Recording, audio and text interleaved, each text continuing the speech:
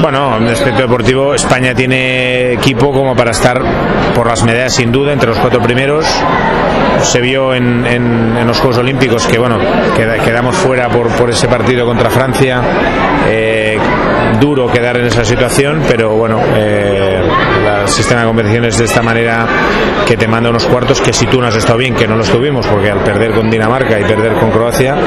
te obligaba a no jugar precisamente contra un flojo, ¿no? Bueno, la verdad es que fue una lástima quedar fuera, pero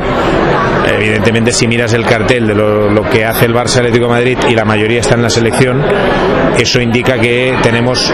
algunos o muchos de los mejores jugadores del mundo y como tal lo que hemos de hacer pues es intentar eh, ganar, o sea, no es descabellado ni mucho menos pensar en el oro. Francia es una selección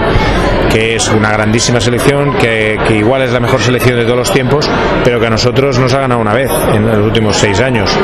Y eso indica que nosotros estamos ahí, nos faltan pequeños detalles y bueno, y que, bueno, pues que vayan jugadores mejores preparados y que cuando lleguemos allí,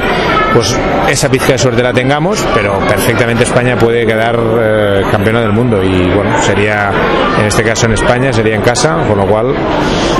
bueno, yo abogo porque haciéndolo en casa la gente se vuelque con el equipo, la prensa le dé la importancia que merece un deporte como el nuestro